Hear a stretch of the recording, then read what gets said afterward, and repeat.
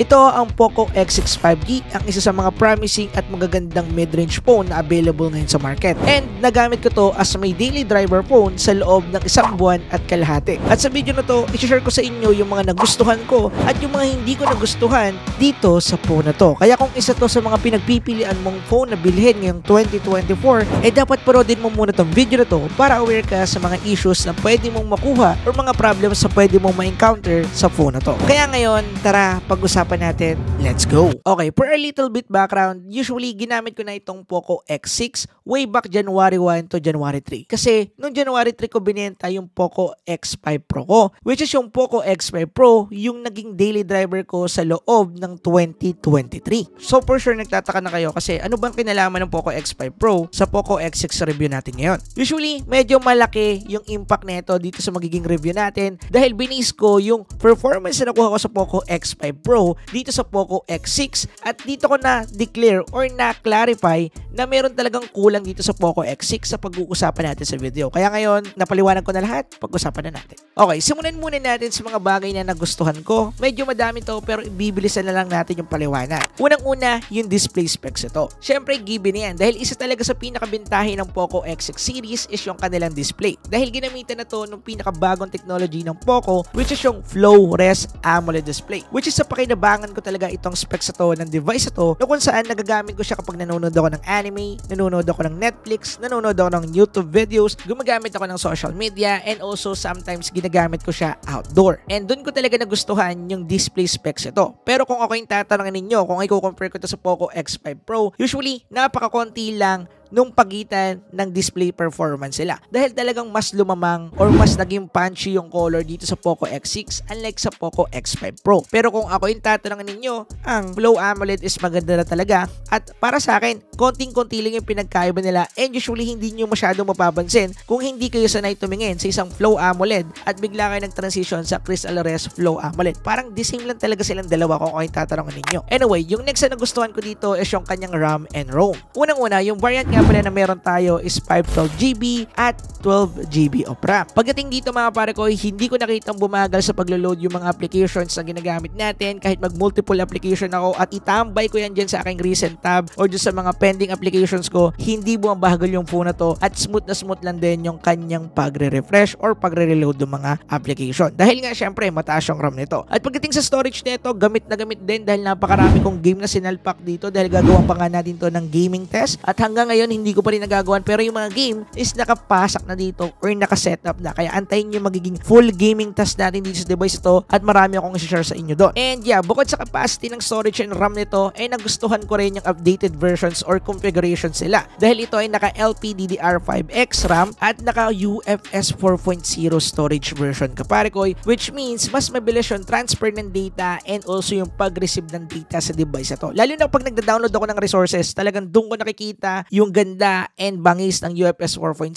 at pagdating naman sa RAM nito, napapansin ko siya kapag yun nga nagmo-multiple application ako at kung ano-ano pa yung mga binubuksan ko habang gamit-gamit tong device na to. Anyway, yung next na nagustuhan ko pa dito is yung kanyang gaming capabilities dahil yung chipset lang naman na ginamit dito ay Snapdragon 7S Gen 2 na kung saan nakakuha tayo dito ng 566K and 2 to benchmark score and also saktong pasado din dito sa ating thermal throttling test. At pagdating sa kanyang gaming capability ay okay na dahil pang mid-range lang talaga yung kanyang performance. At dahil nga ito yung naging daily driver phone ko sa loob ng isang buwan, syempre, napakadami kong nilaro ditong game or yung madalas sa mga nilalaro kong game sa iba't iba kong mga naging daily driver phone. And trust me mga pare ko, sa loob ng time period na yon ng almost one and a half months, ay wala akong naging problema pagdating sa kanyang gaming capability. Although, yung kanyang graphics talaga, eh medyo kukulangan ka kung graphics guy ka. Pero kung in terms of gaming capabilities, smoothness, and also FPS, eh kayang-kayang in-nail ng device ito yung hinahanap-hanap mo sa mga criteria na yon. At kung meron man akong game na medyo nahirapang iran dito, eh yun lang yung Genshin Impact and also yung Firelight 84. Na totally nahirapan. Siguro pagdating doon sa Genshin Impact, kinakailangan natin siyang i-high settings lang, hindi yung highest at 60 FPS settings. And then pagdating naman sa Firelight 84, medyo kinakailangan kong ibaba sa HDR yung kanyang graphics quality at naka-extreme FPS pa din. So, malalaman nyo yung final verdict ko sa gaming neto pag nagawa na natin yung gaming test. Kaya antay-antayin ninyo. Okay, yung next and last naman na nagustuhan ko dito is yung kanyang build quality and also yung kanyang shape. Dahil ito ay naka-box type design, madali hawakan para sa akin. However, medyo masakit nga lang yung kanto niya sa kamay. Pero yan, nagustuhan ko siya dahil fit na fit siya doon sa ginagamitan ko ng cellphone holder. Dahil nung January,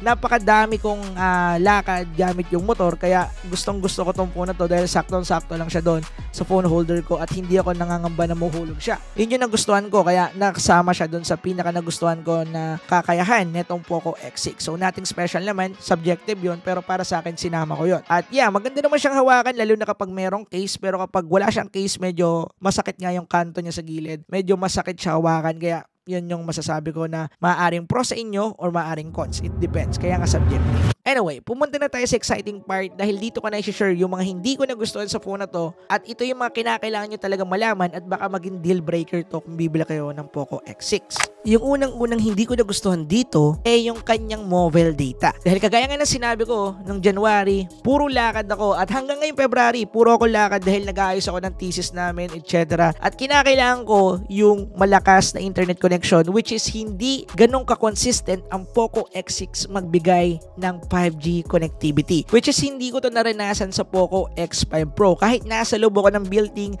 hindi ko na kinakailangan lumabas, eh nakakasagap tayo ng 5G connectivity at full bar po yun or 3 bar or 2 bar sometimes. Which is yun yung namimiss ko dito sa Poco X6 at napaka-crucial sa akin ng mobile data dahil nga ginagamit ko siya kapag nagmumotor ako dahil gumagamit ako ng mga navigation application kagaya ng Waze and Google Map. At pagdating din sa kanyang 5G connectivity, alam ko naman mga kapare ko na hindi po lahat ng cities or lugar dito sa Philippines is meron ng 5G. At trust me mga kapare ko, ay halos lahat ng mga area na pinupuntahan ko and also dito mismo sa lugar ko nasan ako nakatira, eh naka 5G support na po mga kapare ko. Eh. At kung saan pa, eh halos lahat po yun ay meron ng 5G connection. At dito SIM card nga pala yung gamit ko. At alam ko na halos lahat ng place na pinupunta ko is naka 5G connectivity na. Kaya hindi ko magets kung bakit hindi kayang ibigay ng Poco X6 yun ng consistent. Don't get me wrong, hindi ko sinabi na laging hindi siya naka 5G nagpa 5G siya. Pero pag nasa loob ka na ng bahay or nasa ibang place ka like medyo kulob or medyo uh, tago, eh yun na nga, bumababa siya ulit sa 4G which is yun yung time or part na kinakailangan mo talaga ng mobile data. Usually okay lang din naman kahit nasa 4G connectivity na lang siya or LTE. Basta okay yung kanyang internet connection. Dito kasi once na nasa 4G na, sobrang bagal na ng mobile data niya. Yun yung pinaka napansin ko ah, based on my experience to. Kaya para doon sa mga kapare ko natin na hindi to na experience, eh good thing sa inyo. Sa akin kasi, hindi. Next naman na hindi ko masyado nagustuhan dito sa Poco X6 is yung kanyang camera. Don't get me wrong, usually maganda talaga yung camera netong ating Poco X6. Pero sa camera part lang yon. As in, kung magtitake ka ng portrait, magtitake ka ng selfie, magtitake ka ng landscape, magtitake ka ng ultra wide, etc. Pwedeng pwede. Nandito yon, hindi ka mabibitin. Pero pagdating sa kanyang video capability, yung 4K at 30 FPS niya, pagdating sa kanyang rear camera, and 1080p at 60 FPS pagdating sa kanyang front facing camera, medyo bagsak siya ng konti. Although,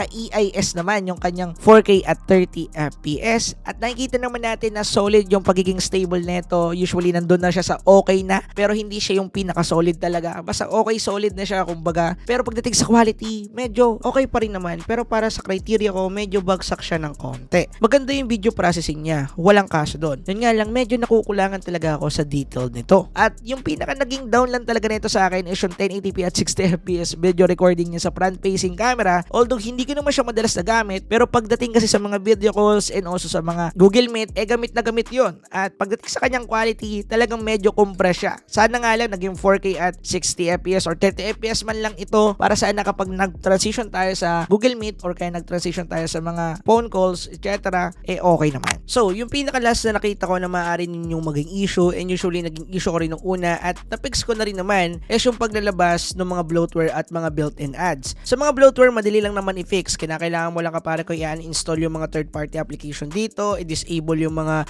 built-in application, basic na lang yon. Naturo ko na yun sa iba nating video. Pagdating naman doon sa mga built-in ads, ito yung mga lumalabas after mo mag-install ng isang game, after mo mag-install ng isang app sa Play Store, lumalabas talaga siya. And minsan, minsan, meron pang mga rare cases na kapag pumupunta ako ng gallery or kaya sa file manager ko, may mga lumalabas na ads, which is dapat hindi natin na-experience. Although, gets naman natin dahil dito kumikita ang Poco Xiaomi na nagiging reason kung bakit mababa yung benta nila sa mga device nila pero syempre annoying pa rin yun. At ang maganda dyan, nakagawa na ako ng video para ayusin to pero way back 2023 yon. Meron kasi talagang mga settings ngayon na sobrang tago and usually hindi na rin ma-disable yung iba. Ang maganda dito mga kapare ko, meron tong one-time solution which is yung paggamit ng isang private DNS at gagamitin nyo lang yung adguard.com. Maglalagay na lang siguro ako dyan ng tutorial about doon. Ilalagay ko na lang sa description kasi yung iba talaga mga settings doon sa mga built-in ads na to ay hindi ko na rin mahanap usually. At itatry kong i-find yung mga yan at gagawa na lang natin ng video para magkaroon kayo ng idea kung paano i-disable yung mga ads sa Xiaomi and also Poco phones. Same lang naman sila ng placement kung hindi ako nagkakamali. Anyway, pagdating naman sa opinion ko or conclusion ko dito sa device na to after ng almost 2 months sa paggamit ko nito, eh masasabi ko na okay naman yung device na to. Okay siya, nandun yung capabilities niya, kagaya nga ng sinabi ko, yung display maganda, gaming capabilities pwede na para sa mga tao na hindi talaga ganun ka uh, needed yung graphics sa gaming pero prioritize yung FPS, nandun talaga okay na okay tong device na to. Pero pagdating sa mobile data, video capabilities, and also yung mga ads dito, yun yung mga bagay talaga na nakita ko na medyo downside nitong phone na to. At kung isa talaga to sa mga pinagpipilian yung phone na bilhin ngayon 2024, eh definitely magiging sulit pa rin yung pera nyo dito. Pero mas magiging sulit yung phone niyo if bibili kayo ng Poco X5 Pro. Alam ko ngayon, pinapaubos na lang yan mga kapara ko sa Lazada, Shopee, and TikTok dahil phase out na yan eh. Hindi na sila gagawa niyan. At